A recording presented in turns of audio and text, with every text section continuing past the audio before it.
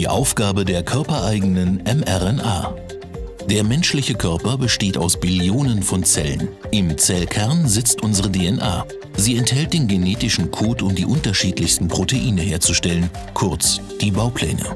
Will der Körper ein neues Protein bauen, kopiert er den Originalbauplan im Zellkern und erhält auf diese Weise RNA, genauer gesagt mRNA, genannt Boten-RNA. Die mRNA transportiert die Information ins Zellplasma zu den Ribosomen. An den Ribosomen wird das neue Protein gebaut, genau nach Bauplan der mRNA. Danach spalten spezielle Enzyme die mRNA und bauen sie nach und nach ab.